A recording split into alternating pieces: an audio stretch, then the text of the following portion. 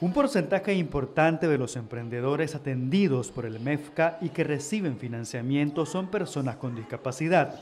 Don Humberto López es uno de ellos.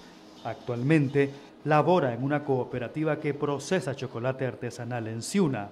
Represento una cooperativa familiar y también represento o apoyo a unos compañeros del municipio que son discapacitados. Yo invito a estos compañeros discapacitados que ellos también se acerquen a nosotros. Tenemos personas discapacitadas en el municipio que ellos están emprendiendo, están innovando también.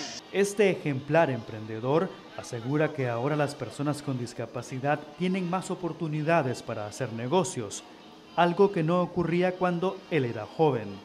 Y hemos recibido algunos beneficios también. Mi parte pues es, diferente, pero hay otros que sí necesitan silla de ruedas y, han sido apoyados.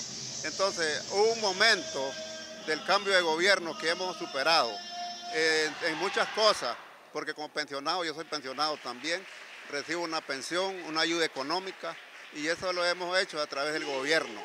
Antes, cuando no estaba el gobierno de ahorita, nosotros no recibíamos esas cosas. Las personas con discapacidad que deseen emprender pueden solicitar información y financiamiento en la delegación más cercana del Ministerio de Economía Familiar o el programa Usura Cero. Pablo López, TV Noticias.